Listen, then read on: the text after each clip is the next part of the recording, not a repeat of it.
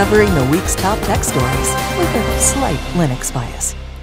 The UK Advertising Authority has put a stop to those pin puzzle ads, arguing that the frequent advertising misrepresents the gameplay of each title. The Advertising Standards Authority regularly weighs in what does and doesn't fly for game advertisements in the UK, meaning it's important for game developers to keep up with the authority's decisions in order to ensure their own ads don't end up on the chopping block. The play Playrix ads in the ASA's crosshairs this time around might be familiar to anyone that regularly dabbles in mobile free-to-play games or scrolls, scrolls through social media. Each depicts a puzzle that requires players to slide a variety of pins in a certain order to save a cartoonish character from certain doom. Only as the ad regulator points out, the gameplay seemingly featured in those advertisements is nothing close to what's actually found in the bulk of the Match 3 games they're advertising.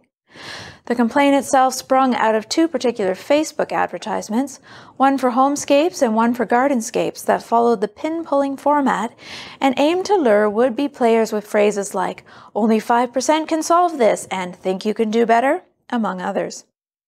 In response to ASA's investigation, Playrix argued that the puzzles shared thematic, thematic similarities with the gameplay and narrative players could expect in the actual games.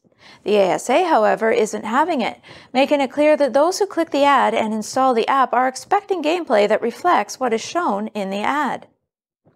The authority has decreed that Playrix's ads are misleading despite Playrix's inclusion of a disclaimer that not all images represent actual gameplay. The offending advertisements can no longer run in the UK, and Playrix has been told to ensure their future ads actually represent the gameplay of the titles they're linked to. Hopefully, we'll see these annoying false ads stopped in other regions as well. I, I like that the UK authority has gotten in on this because this type of ad has driven me nuts for a while now. Anyone else seen this? Like- Anyone else fallen for it? I see them all the time, but I find that YouTube is, per, or not YouTube, sorry, Facebook is particularly bad for false advertisements. Like so many computer or um, app games that I see, they're like, oh, check out this, you know, this is the game, you got to play it.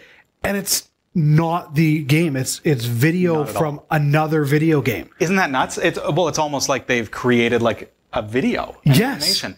Uh, I don't know if you've fallen for this. I actually installed the game when the ads started Oh, okay. because I thought, oh, that looks really fun. Yes. The ads make it look really, really fun.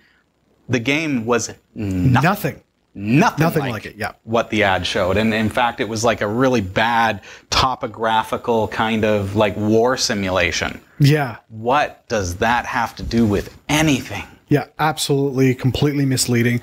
I, uh, it's unfortunate though that it's only the UK authority that's gotten in on this. I think Well, I don't know that it is, but I mean the UK Well, as far as the ruling. That's yeah, that's Yeah. what we're hearing anyways. That's what's breaking the news right now. I hope that it it catches all across the globe because these kind of ads drive me nuts. Oh, yes. And and as as a father whose kids are now getting into apps and games, they see these ads and they're like, "Ooh, dad, I want to download that. I want to play it." Yeah. But I'm now questioning going, is what they're seeing actually the game? Yeah. And, and that makes me think, I mean, it's good that the authority is putting their foot down because if, like, where's the line? Yeah. If, if they are allowed, if they were allowed to post these ads that are completely not what they're advertising, what, what's the line? What could it be that my kids are actually installing? And I say my kids because that's the example that Yeah. you use, but I mean, it annoyed me. Yeah. Because I was laying there on the couch thinking, this looks cool, I'm going to install this. Could you imagine if we advertised as a tech show on Cat 5, but really we're a car show? I couldn't imagine that. Jeff. Like, that would just drive you all nuts. You tune in, it's like, Could you I gotta, imagine? I gotta hear about cryptocurrency. To be No. fair, we Tran- have Linux Tech Show, and people say, "Why are you talking about Windows?" okay, fair enough.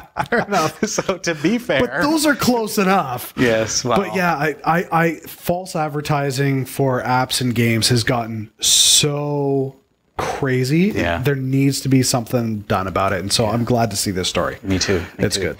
Big thanks to Roy W. Nash and our community of viewers for submitting stories to us this week. Thanks for watching the Category 5.tv newsroom. Don't forget to like and subscribe for all your tech news with a slight Linux bias. And if you appreciate what we do, become a patron at patreon.com slash category 5.